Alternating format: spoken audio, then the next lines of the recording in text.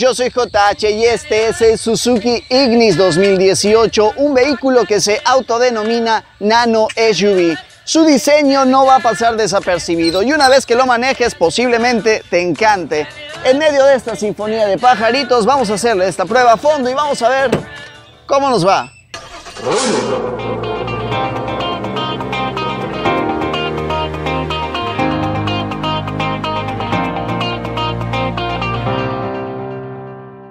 El Suzuki Ignis nació en 1999 y en el 2001 se vendió en Japón bajo la marca Chevrolet con el nombre de Cruz. Posteriormente Subaru toma la estafeta y lo vende con el nombre G3X Justy. De manera paralela en ese tiempo, Suzuki le cede los derechos a Holden para comercializarlo en Oceanía, de tal manera que también allá se llamó Holden Cruz. En su historia ha equipado motores de 1.3 y 1.5 a gasolina, pero también ha tenido 1.3 diésel que fue proveído por Fiat en algún momento. Algo a hacer notar es que el Ignis ha ganado campeonatos respaldados por la FIA, ya que en el 2004 el sueco Per Gunnar Andersson fue campeón del Mundial de Rallys en la categoría Junior a bordo de un Suzuki Ignis con tracción integral. Y aunque es un subcompacto, se quiere subir al tren de las SUV. Ustedes tal vez me digan, oye, es que este vehículo no es un SUV. En efecto, no es un SUV, es un vehículo subcompacto con buena altura al nivel del piso, buena altura para la cabeza y que inclusive en este momento traigo a una Audi Q5 adelante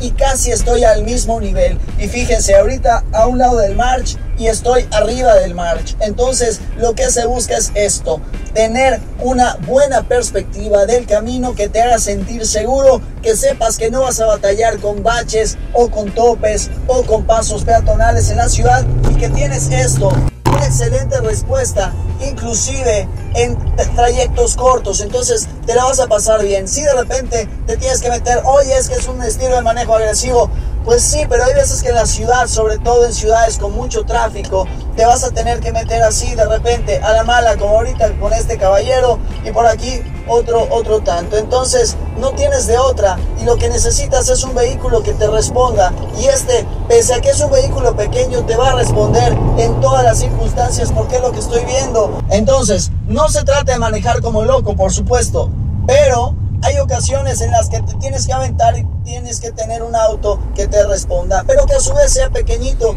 y este vehículo cumple con las dos condiciones. Es por eso que es una buena compra para hacer tu auto de ciudad. Y bueno, también hay que ser amables. Ahora vamos a nuestra prueba de aceleración, traemos una caja CBT, ya tenemos la posición en drive y es que esta versión es la GLX, el motor es 1.2 que ahorita lo vamos a conocer y el 0 al 100 lo hicimos exactamente en 11.1 segundos. La aceleración patrocinada por esta caja CBT es absolutamente lineal, tanto que llega un momento en el que estás dudando si algo no cambiaste, algo no hiciste. Hay que acostumbrarse al timing de este conjunto mecánico, pero también hay que acostumbrarse al sonido que emana de esta caja CBT. El primer cambio, cambio entre comillas, lo hizo a los 60 km por hora con 5000 revoluciones.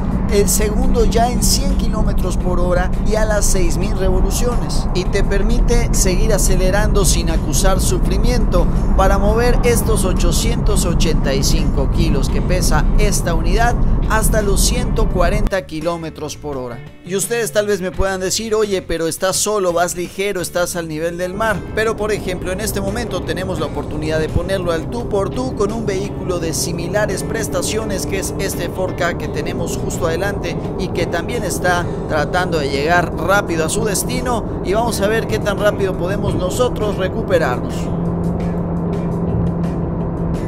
Y bueno, ya vieron aquí, ya llevamos 140 kilómetros por hora, dejamos atrás a un 4K. La primera prueba la pasó perfectamente bien. Algo que específicamente me preguntaron del Ignis es que si por su bajo peso pero altura considerable podría llegar a sentirse nervioso en la carretera.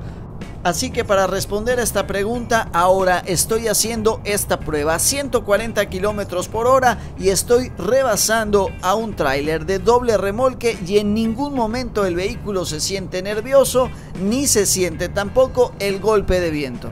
Y ahora sí con ustedes el motor que mueve a este Ignis 2018 es de 4 cilindros, 1.2, 82 caballos a las 6000 revoluciones, 89 libras pie a las 4000. Es de 16 válvulas, BBT es decir de tiempo variable. Existen dos versiones, la GL que viene solamente con transmisión manual y la GLX que es esta que tenemos aquí que viene o con transmisión manual o esta que están viendo que es la transmisión CBT. El rendimiento de este vehículo, de acuerdo a la marca, debe estar en 21.8 kilómetros por litro. Sin embargo, me parece algo aventurado. Yo le calculo, de acuerdo a nuestras pruebas, unos 16 kilómetros por litro, rendimiento combinado. Vean el tamaño de la batería es muy pequeña como la están trayendo muchos de los vehículos de esta nueva generación. Ahora regresando con el tema de la gasolina, el tanque tiene una capacidad de 32 litros apenas, pero suficientes para recorrer unos 500 kilómetros. Algunos de los principales competidores de este Suzuki Ignis son el Chevrolet Beat Active y el Fiat Mobi. Sin embargo, yo creo que el Ignis está un pasito adelante en cuestión de manejo, aunque también hay que reconocer que de los tres es el menos económico.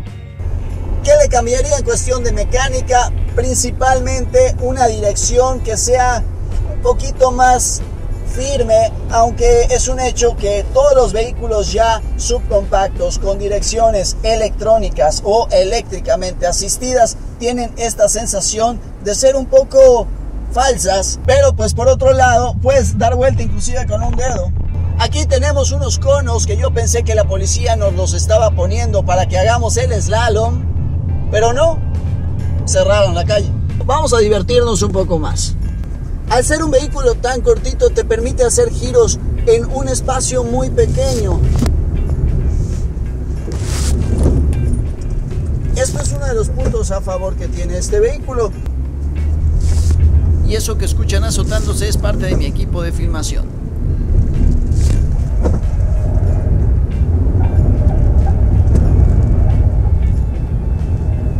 Vean eso, estoy dando vueltas sobre mi propio eje. Y si crees que va a perder estabilidad por la velocidad, créame que no. Súper fácil de manejar, eso es un punto a favor. Ahora sí vamos a hablar del diseño exterior del Suzuki Ignis y es que en algunas partes lo puedes amar y en otras no tanto. El frontal parece un antifaz con dos conjuntos ópticos muy bien logrados. Tres cuartas partes del conjunto van bordeadas por esta línea de luz LED que le hace ver muy bien, sobre todo de noche. Lamentablemente no lo pude grabar de noche, pero bueno, aquí lo tienen. La versión GLX utiliza cromo, pero solamente en el bisel del antifaz y en los biseles de los neblineros inferiores. Algo muy particular del Suzuki Ignis son las diferentes combinaciones de colores que puedes elegir y es que tienen desde tonos rojo con negro, que es el Fénix, un color tipo menta y este por ejemplo es el color blanco pero lo puedes equipar con algunos stickers y embellecedores tanto exteriores como interiores. En este caso, por ejemplo, le pusieron estas calcomanías en color rojo que no me gustan tanto porque hay unos taxis aquí en Mérida que se ven exactamente igual. En cuanto a rines, ruedas y suspensión, tenemos en esta versión rines de 16 pulgadas de aluminio en color negro y también acá se le puede poner esos stickers que te indican que el coche, para que no se te olvide, es un Ignis. La suspensión es tipo MacPherson como no puede ser de otra manera y que de hecho está muy bien balanceada. Ya vimos que aún en giros a alta velocidad o a una velocidad más arriba del promedio se comporta muy pero muy bien y los neumáticos son Bridgestone Copla 175-60. Siguiendo con los detalles, en el exterior tenemos espejos retrovisores abatibles, algún par de luces de aviso de giro, un embellecedor que simula ser una toma de aire en los costados del cofre y hasta este punto todo va bien. Pero avanzando hacia la parte posterior encontramos primero este carenado y es a partir de este punto que se empiezan a dividir las opiniones. Y si bien algunos trazos podrían considerarse tal vez innecesarios, la realidad es que le dan ese toque particular y característico a este vehículo, sobre todo con el uso de los stickers o embellecedores en color contrastante. Dos propuestas llamativas son una que la defensa trasera está prácticamente engullida, tragada por el resto de la carrocería y además está hacia adentro y la segunda es que las llantas traseras sobresalen de los costados y están adornadas por estos guardafangos ensanchados. Y sí, de repente podría parecer la versión japonesa del Smart 44. En cuanto al sistema de frenado adelante son de disco, atrás son de tambor, ABS en las cuatro ruedas por supuesto y distribución electrónica de frenado. Ahora sí vamos a verle el calzón. Si no saben por qué le digo calzón a la suspensión trasera, hay que ver mis videos anteriores. Y bueno, equipa un sistema clásico de eje rígido con brazos tirados y resortes helicoidales que por su tamaño y peso es justamente lo adecuado. Dos adicionales que vamos a encontrar en este vehículo son por un lado su cámara de reversa que tiene muy buena resolución y dos barras porta equipaje funcionales. Ahora sí vamos a conocerlo por dentro. En cuanto abres la puerta notarás que tiene un interior casi artístico, combinaciones de colores como esta que captarán tu atención sí o sí. El espacio visual del tablero está dominado por una pantalla de 7 pulgadas y si tienes un ojo clínico notarás que no está centrada. Un punto que me encantó es esta sidera, el color que están utilizando, las combinaciones está muy padre. Algo que no me gustó es que se vean los tornillos. ¿Por qué? ¿Por qué me haces eso, Suzuki? No quiero tornillos a la vista porque le echan a perder un excelente diseño. Todo lo estás haciendo perfecto y pum, me pones aquí un tornillo. Acá tienes otro. Y bueno, como que allá echas a perder un poco la buena vibra del auto. Pero bueno, simplemente es ojalá que para el siguiente modelo reconsideren, oye, con una tapita por allá y lo vas a dejar perfecto. De resto, los controles en la puerta bien a la mano, cómodos, es totalmente eléctrico, incluyendo los espejos retrovisores laterales. Tenemos espacio suficiente para poner chucherías, aquí para poner los papeles del vehículo. Me gusta mucho que tenga la doble bahía, no sé por qué, pero me gusta. Aquí hay como que un espacio donde iría algo que no sé qué es. Aquí otros pequeños espacios, muy pequeños, como para poner plumas nada más. Y diferentes estilos y combinaciones de diseño que dicho sea de paso se ve bien. Acá tenemos un, igual que acá tenemos un tipo de acabado fibra de carbono que le hace ver bien. Solamente tenemos dos bolsas de aire, dos bolsas de aire que de alguna manera son suficientes. Hay por allá gente que dice, oye, es que solamente con dos bolsas es poco, pero les recuerdo que no solamente las bolsas de aire son importantes, sino también lo es la construcción y los materiales utilizados para el vehículo. Yo prefiero tener acero de alta resistencia que un par de bolsas de aire más. Así que importa mucho la construcción del vehículo. No solamente se fijen en considerar el número de bolsas de aire de un auto. Tenemos dos tapitas, una para conexión de 12 voltios, otra para auxiliar y USB. Esto me encantó. Esta parte definitivamente me encantó. Tienes los controles del aire acondicionado aquí se van subiendo, se va bajando. Ahorita tengo el aire acondicionado automático y va a empezar a hacer el ruidazo porque sale muy fuerte, así que vamos a bajarle. Y simplemente es así tan suavecito como esto y aquí le vas subiendo o bajando a la temperatura. Me gustó mucho, espero que sea un diseño que aguante y me gusta porque parece de esas bocinas Bose que están ah, tan de moda ahorita me gusta definitivamente se me hace muy atractivo. El diseño la pantalla definitivamente. También aquí en la parte superior vas a encontrar una ranura para meter tarjetas SD más adelante vamos a conocer la pantalla de detalle. Ahora es así como arranca como despierta este bebé. Aquí en la parte de la pantalla vas a tener la S Suzuki la pantalla básicamente siempre va a estar encendida. Por ejemplo, si ya tienes tu teléfono aquí vinculado, vas a tener la opción de llamada. Si no lo tuvieras, simplemente es dándole agregar dispositivo y buscar. Ahora, de este lado, en los botones vas a poder accesar al manos libres en caso de que te contesten. En caso. No quiero. Bueno, me... Lo sentimos, no hay ningún teléfono conectado. Perfecto. Entonces, vamos a seguir. Bueno, tenemos estos tres botones aquí para eh, contestar en manos libres, aquí para el control de la música.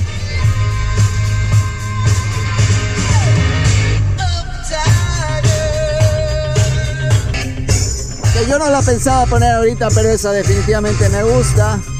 Y estamos escuchando. Bueno, ya la calidad del audio es buena, simplemente es buena. Un subwoofer le quedaría de lujo a este vehículo, pero suena bastante bien, ya lo pudimos escuchar y es que estoy grabando aquí con la GoPro que no se caracteriza por agarrar muy buen sonido. En el volante tenemos también los controles de velocidad crucero, sí lo equipa de hecho y son poco los autos subcompactos que tienen esto. La información principal del vehículo la vamos a tener en esta pequeña pantalla que ya habíamos visto a su momento. Información como el consumo instantáneo, la temperatura, hace un calor infernal, la hora, la autonomía y el rendimiento.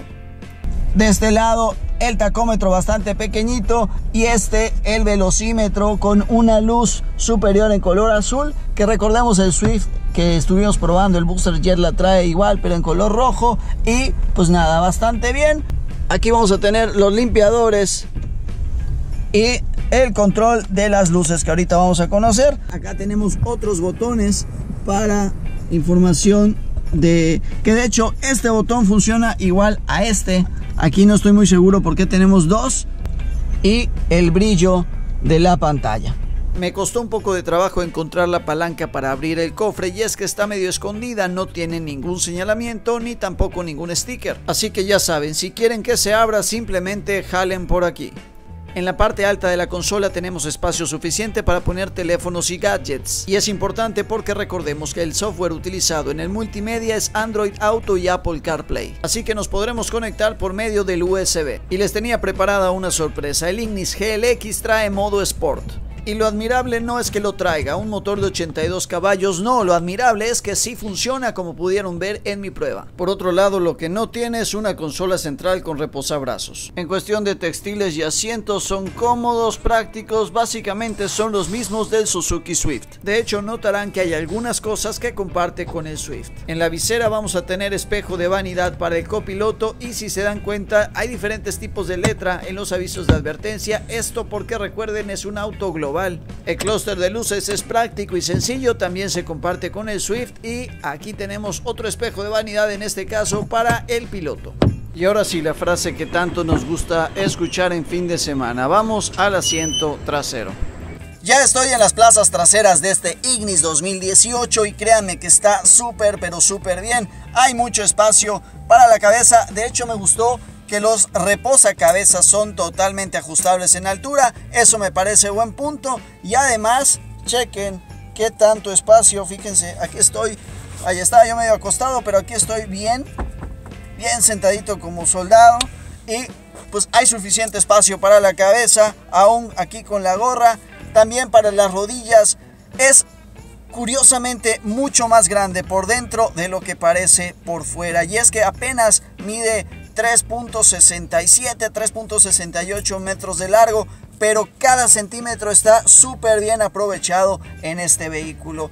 Mucho espacio, ideal para cuatro adultos sin ningún problema, inclusive si son altos no van a tener problema. Y este es el concepto que quiere dejar Suzuki al mencionarse, automencionarse como un nano SUV. Sí es un vehículo pequeño por fuera, pero créanme que por dentro te va a sorprender. Es verdad que aquí en las puertas pues no hay tanto acabado, está bastante liso, inclusive sí hay algunos eh, tal vez movimientos de más en los plásticos, los cristales son pues de alguna manera pequeños, pero pues bajan por completo, eso está bien y además bueno pues vas a tener esta ventanita aquí en la parte superior no tienes esa sensación de estar encerrado por completo en la parte trasera. Sí, los cristales de alguna manera son pequeños, pero la posición al estar un poco más alto te deja ver muy bien el camino y la parte frontal del vehículo. Así que te la vas a pasar seguramente muy bien, aún siendo pasajero de este Ignis 2018. La llave, si bien es sencilla, tiene dos botones con los que vas a poder abrir y cerrar el vehículo de manera remota. Y es justamente lo que vamos a utilizar para quitarle el seguro de la cajuela y veamos qué es lo que tiene. Lo que tiene son 260 litros de espacio que son suficientes para unas cuatro maletas de cabina. De hecho, me parece inclusive mayor que, por ejemplo, el March o inclusive también que el bit, que el bit tiene muy poquito espacio, pero aquí sí va bastante bien, pero puedes tener mucho más, hasta 1100 litros simplemente quitando la tapa posterior y retirando, bajando los asientos que son abatibles por supuesto, así que con esto tendrías mucho más espacio, de hecho sacar la tapa es bastante fácil, puedes hacerlo con una sola mano. Y puedes tener todo este espacio suficiente para cajas, ropa, etcétera. Así que en ese aspecto cumple bien.